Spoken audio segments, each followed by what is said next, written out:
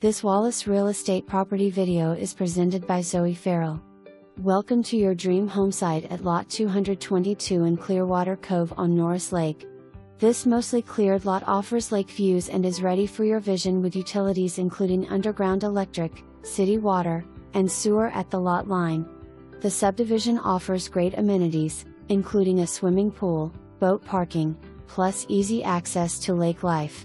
A quick golf cart ride takes you to the boat launch and leasable boat slips. Stardust and Sequoyah Marinas are just a short boat ride away. For more information, review the details below or contact Zoe Ferrell at 865 584 4000.